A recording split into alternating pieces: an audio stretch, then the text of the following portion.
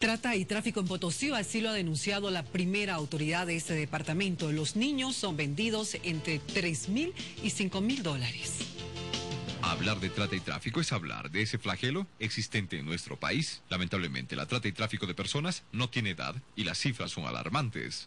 Un lugar eh, que se hace conflictivo por el tráfico es Villazón, por ejemplo.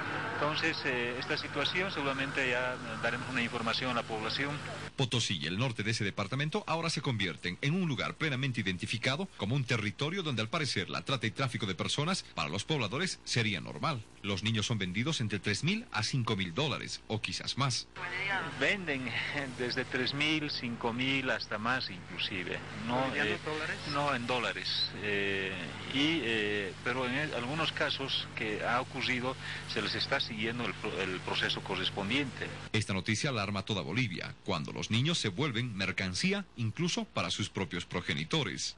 Y a mí me parece ya denigrante de que se siga vendiendo por dinero y eso hay un problema de, de actitud. Puede ser por pobreza y otros por dinero. Eso es.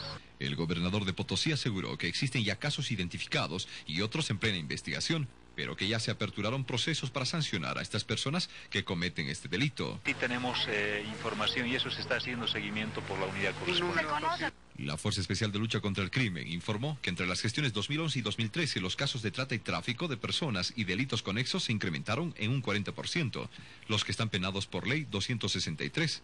Los departamentos identificados con mayor cantidad de casos son Cochabamba, La Paz y Santa Cruz, y ahora Potosí. Y tal parece que la cifra de personas que son traficadas va creciendo paulatinamente.